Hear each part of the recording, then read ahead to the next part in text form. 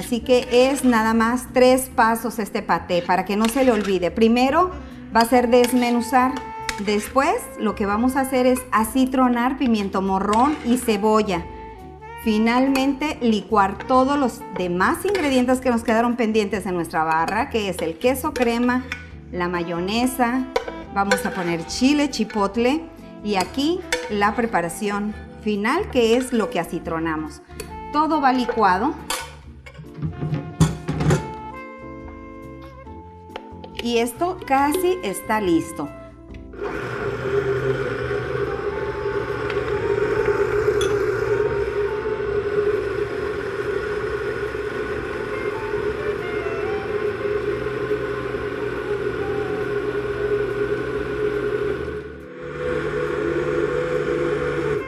Muy bien, tiene que quedar así, en esta consistencia. ¡Qué delicia! Ahora sí, vertemos sobre el marlí. Mire qué belleza,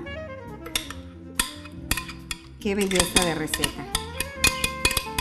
Todo esto va aquí y simplemente mezclamos poco a poco y vamos a obtener eso que hemos estado buscando.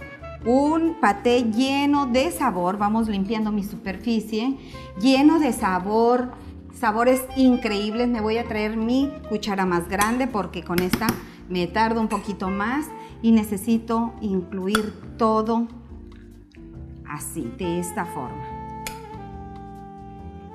Podemos decorar con perejil. Una hojita de perejil estará perfecto. Mientras mezclamos,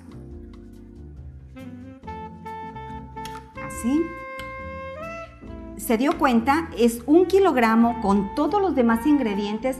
Ha quedado perfecto en consistencia. No nos está sobrando, simplemente le da una cremosidad deliciosa, huele riquísimo. Hemos puesto mucho sabor, mucha sazón y de todas formas le invito para que usted lo disfrute antes de servirlo, porque lo pruebe, perdón, antes de servirlo. ¿Por qué?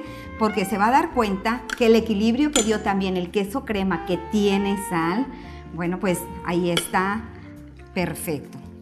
Muy bien, tenemos un paté delicioso. Hay que refrigerarlo si queremos mejor consistencia. De hecho, lo podemos consumir en el momento. No tiene ningún problema. Me voy a traer un recipiente que tengo listo para recibir este paté. Y lo vamos a colocar aquí.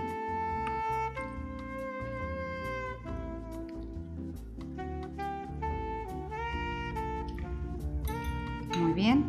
Aquí y le decía yo, es muy rendidor.